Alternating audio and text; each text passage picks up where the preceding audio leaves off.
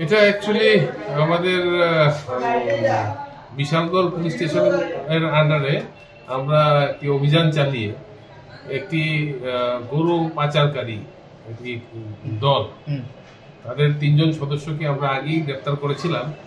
এখন তাদের দুজন সদস্যকে গতকাল আমরা ধরতে সক্ষম হয়েছি।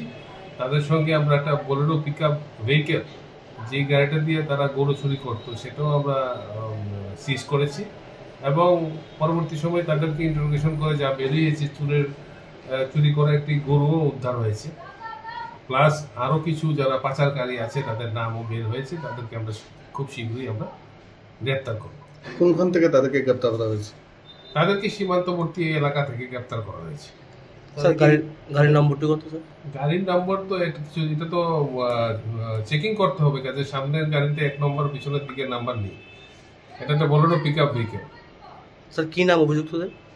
একজনের নাম হচ্ছে আতর রহমান জয় আরেকজনের নাম হচ্ছে আপনার রাকেশ হুম আর কাশেম মিয়া রাকেশ এলিয়াস রাকেশ আর।